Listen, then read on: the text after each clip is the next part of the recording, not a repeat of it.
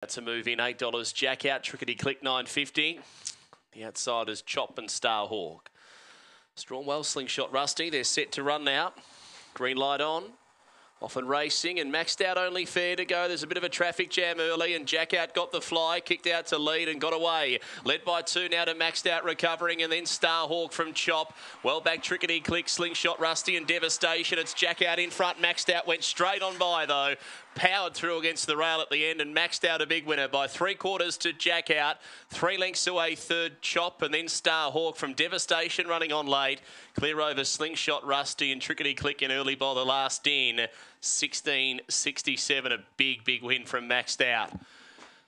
Had no right to win that number four for Graham Jose. Was away okay and then flattened as soon as he got going. He was able to cut back to the rail though, take the short way underneath of the field that were bumping to his outside and he's been able to grab Jack out, claim him 50 to go and then go straight on with the job.